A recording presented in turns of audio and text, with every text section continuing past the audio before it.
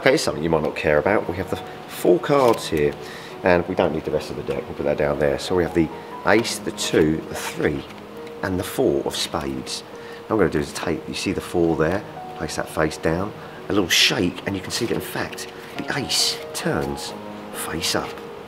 You can see all the cards are face down. It's not until I give them a little shakety shake, like so, you can see that the two turns face down, face up even.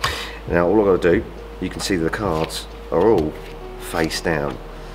Another little shake, like so, and you can see that now the three turns face up.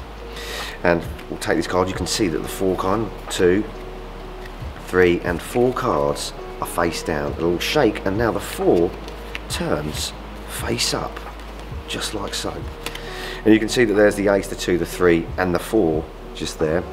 What we're going to do, you can see the four will turn that face down. Another little shake and now the ace of spades turns face up.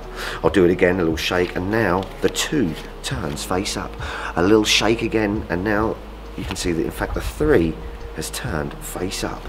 There's that four, okay? We're gonna do it again. We'll take the ace, the two, and the three over here. We'll place them on top of the pack. Watch that four. A little shake. But if you shake it too much, it becomes the four of hearts.